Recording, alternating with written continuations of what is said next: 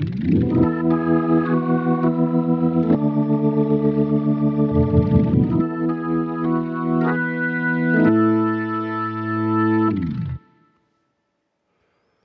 control the rotary speaker speed using an assignable switch, press Edit, Part 1, select Mod Control, and Control Assign.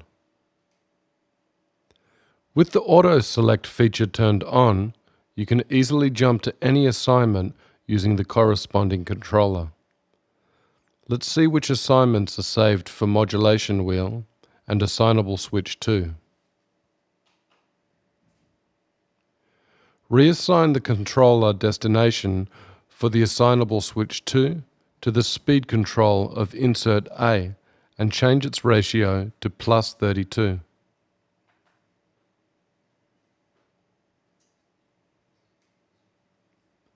It's not necessary to change the assignments from the mod wheel, but it is possible to change its controller destination to a different assignment.